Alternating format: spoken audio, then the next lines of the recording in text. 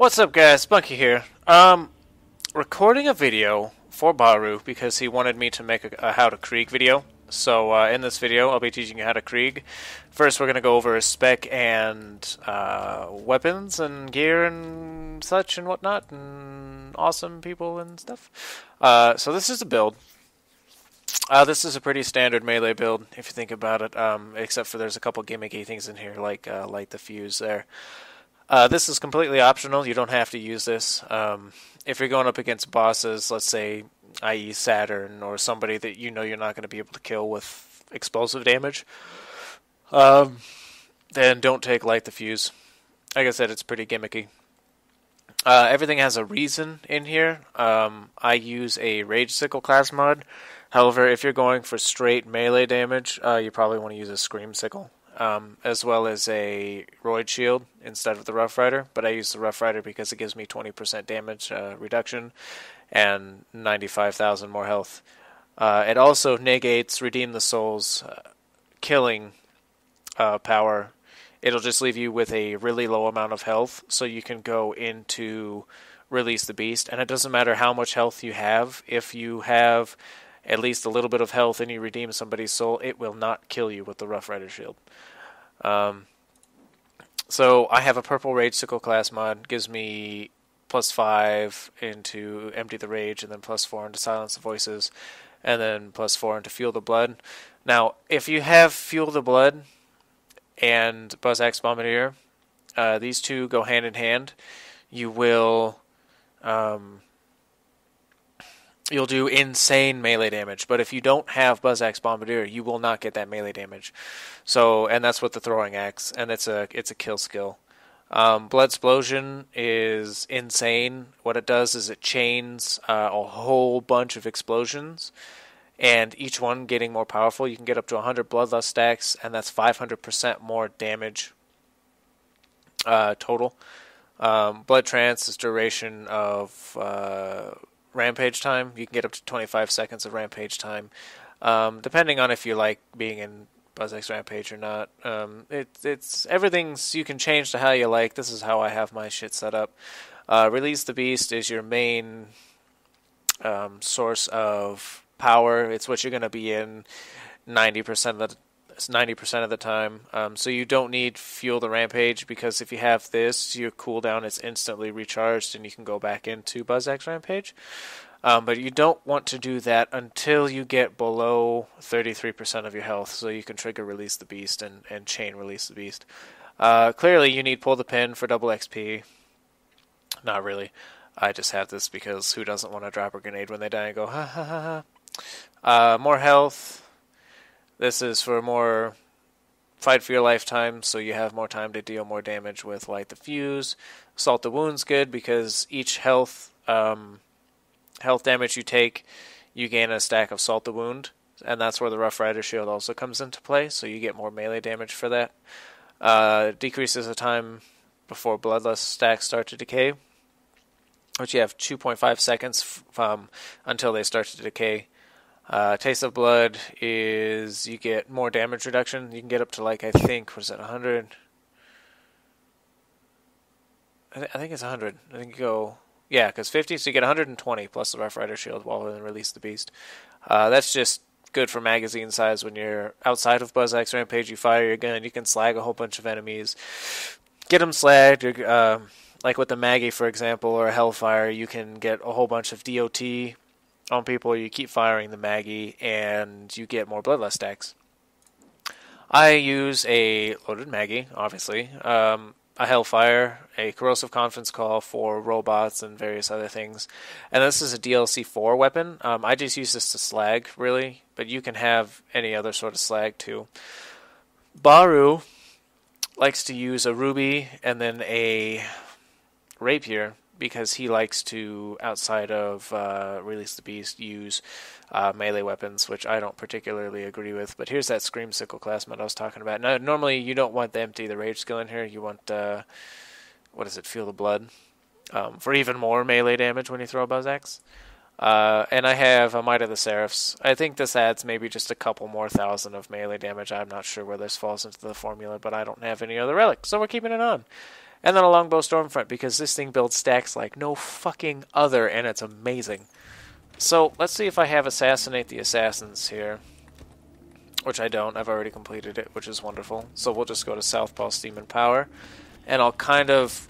I can't really explain the strategies I use um, when I play Krieg, but if you watch, you can kind of pick up on some of the strategies that I use. So let's go ahead and go to Southpaw Steam and Power. Now you want to get your Bloodlust stacks up quick because that increases your Buzz-Axe Rampage duration and your damage reduction. So we'll fill up on ammo right quickly.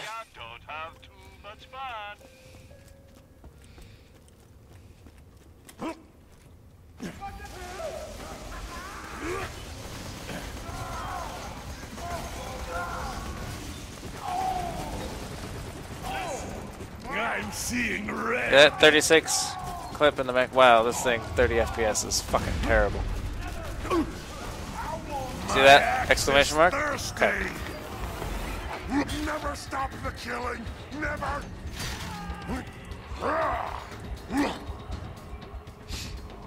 Also, I guess the uh, biggest thing I kind of skipped out on was Silence the Voices and how it has a 12% chance to proc, just like you saw there.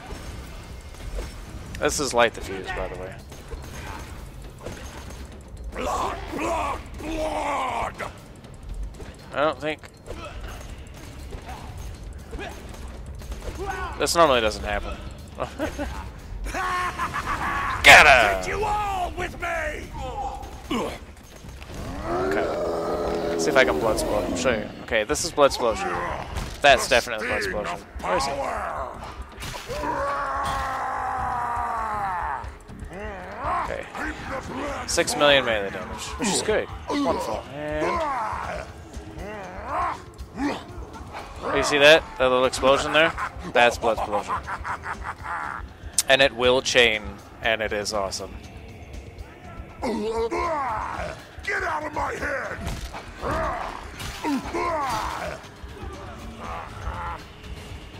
And then I just blood exploded like everybody in the area, and it was awesome. And we'll go with this, so we can slag people. I have 16 stacks of Salt the Wound. And now I think what it is. Oh, right. I forgot to cover Silence Voice. You have a 12% chance to attack yourself, but you get massive melee damage from it. Um, I personally don't have issues with Silence the Voices that much. Um, I know a lot of other people do. It's one of those skills. You can you can live without it, but with it you're going to be doing a lot more damage. So whatever 7.5% times, you know, 16, 15 stacks now they slow the decay is that's how much melee, extra melee damage I'm doing. Kill the little man. It can also put you into Release the Beast range, which is amazing. 67 million damage on Blood Explosion. That's awesome.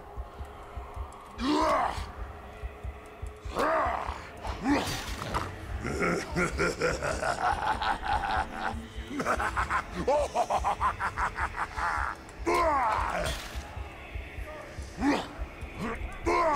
out, get out, get out! I told you what would happen. Silence the Voices also does have a chance to proc multiple times in a row, so be wary of that. I see meat muscles.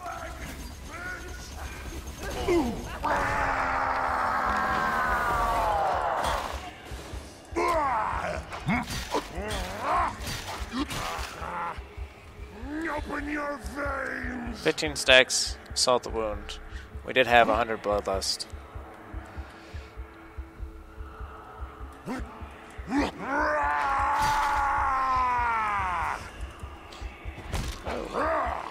Fun time.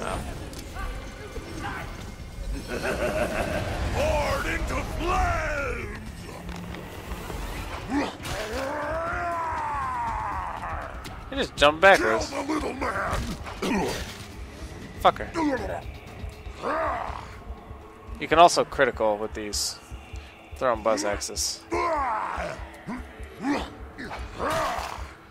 And they do a lot of damage. They also go in an arc. So if you got an enemy rushing towards you, you gotta get used to the arc, definitely. Oh look, Ultimate Badass Nomad. Who is now dead.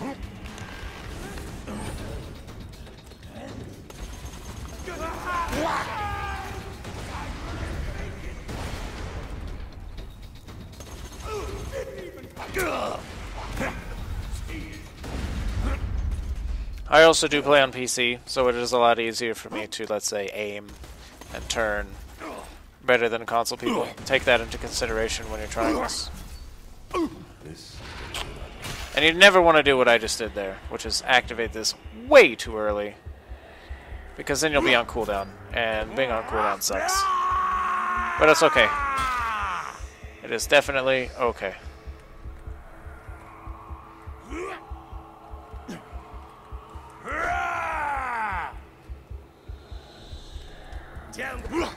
Shut up!